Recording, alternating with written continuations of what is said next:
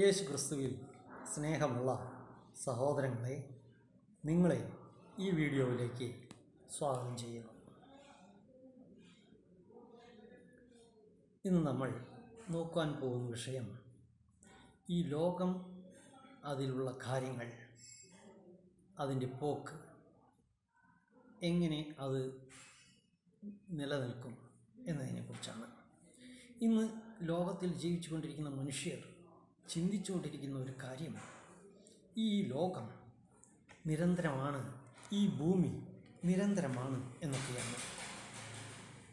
നിറയെ കോടിക്കണക്കാണ് ജനങ്ങൾ ബുദ്ധിഹീനരായ മനുഷ്യർ ചിന്തിച്ചു കൊണ്ടിരിക്കുന്നത് ഈ ഭൂമി നിരന്തരമായ ഒരു സ്ഥലമാണ് എന്നാണ്.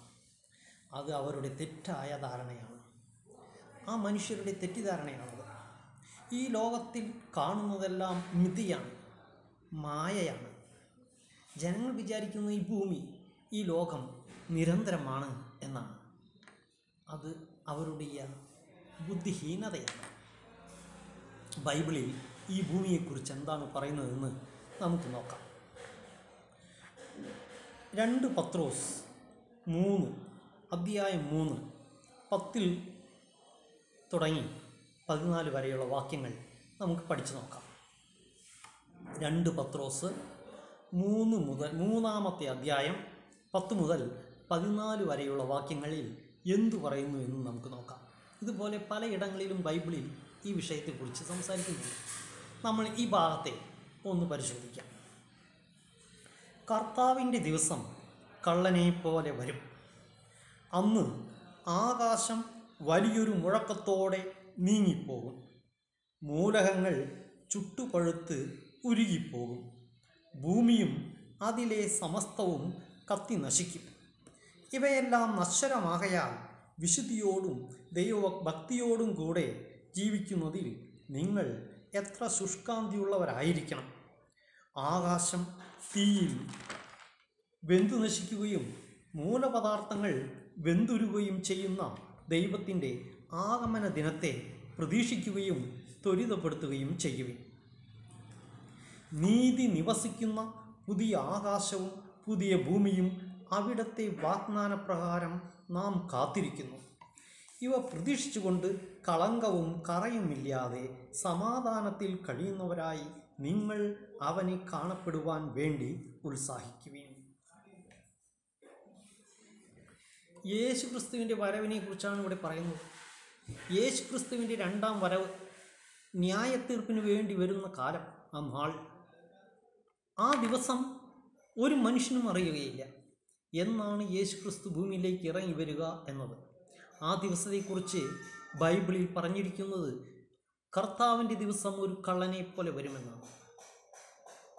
കള്ളൻ വരുന്ന ദിവസം വീടിന്റെ യജമാനനെ അറിയാതിരിക്കുന്നത് പോലെയാണ് ഈ ലോകത്തിന്റെ സൃഷ്ടികർത്താവായ യേശു ക്രിസ്തു അവന്റെ ന്യായത്തീർപ്പിനായുള്ള വരവ് ഒരു മനുഷ്യനും അറിയുകയില്ല.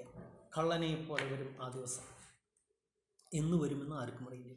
ആകയാൽ ലോകത്തിൽ ജീവിക്കുന്ന ബുദ്ധിയുള്ള മനുഷ്യർ ജാഗരൂകരായിരിക്കണം ഏതു നേരം തയ്യാർ തയ്യാറായി ഇരുന്നു കൊള്ള വേണ്ടു.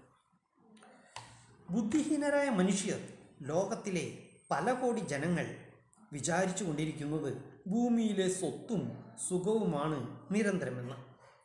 ഈ ചിന്താഗതിയും കൊണ്ട് വീട് കെട്ടി മാളിക കെട്ടി സ്വത്തുണ്ടാക്കി കാറ് മേടിച്ച് സ്വത്തിന്മേൽ സ്വത്ത് ചേർത്ത് ആഡംബരമായ ജീവിതം പടുത്തുയർത്തി സുഖ സുഖലോലുപരായി സുഭിക്ഷത്തിൽ എന്നെന്നും കഴിയുവാൻ ആഗ്രഹിക്കുന്നവരാണ് ഭൂമിയിലെ കോടാനുകൂടി മക്കൾ. ഏത് നേരത്താണ് യേശുക്രിസ്തു ഇറങ്ങി വരിക എന്നത് ആർക്കും അറിയുകയില്ല.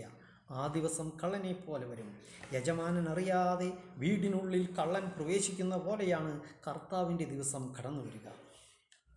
നിങ്ങൾ പട പടുത്തുയർത്തിയ വീടുകളും മാളികകളും നിമിഷനേരം കൊണ്ട് അപ്രത്യക്ഷമാകും.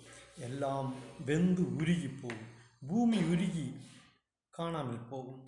ചന്ദ്രൻ രക്തമായി മാറും. ലോകത്തിൽ കാണുന്നതെല്ലാം മായ. എല്ലാം മാഞ്ഞു മറഞ്ഞു പോകും. മനുഷ്യന്റെ എല്ലാ പ്രയത്നങ്ങളും വ്യർത്ഥമാകും. ഒന്നിനും ഉപകരിക്കുകയില്ല. ബുദ്ധിയുള്ള മനുഷ്യർ നിരന്തരമായ അതിനെ തേടി കണ്ടുപിടിച്ച് നിരന്തരമായ സ്ഥലത്ത് തങ്ങളുടെ സ്വത്ത് ചേർക്കുന്നു. അവരുടെ സ്വത്ത് കള്ളന്മാർ കട്ടുകൊണ്ടുപോവുകയില്ല. ഭൂമി നശിച്ചുരി കാണാമൽ പോകുമ്പോൾ അവരുടെ സ്വത്ത് അഴിയാമൽ നിലയായി എന്നേക്കും നിലനിൽക്കുന്നു. നിങ്ങളുടെ സ്വത്ത് എവിടെയാണ്? ഭൂമിയിലോ സ്വർഗത്തിലോ ഭൂമി എരിഞ്ഞ് ഉരുകിപ്പോകും കത്തി ചാമ്പലാകും. ബൈബിളിൽ രേഖപ്പെടുത്തിയിരിക്കുന്ന കാര്യങ്ങളാണ് ഇവ. ഈ ഭൂമി നിരന്തരമല്ല.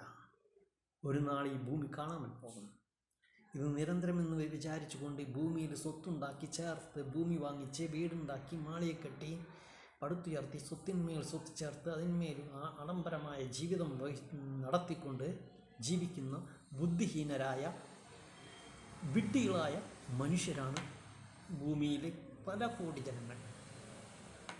സത്യം എന്താണെന്ന് അറിയാതെ ഈ മായയായ ലോകത്തെ മാഞ്ഞു പറഞ്ഞു പോകുന്ന ഈ ലോകത്തെ ആശ്രയിച്ചുകൊണ്ട് ലോകത്തിലെ കാര്യങ്ങളിൽ വിശ്വാസത്തെയും ആശ്രയത്തെയും വെച്ചുകൊണ്ട് വിഡ്ഢികളായി ജീവിക്കുന്ന ജനങ്ങളാണ് കോടാനുകോടി ജനങ്ങൾ.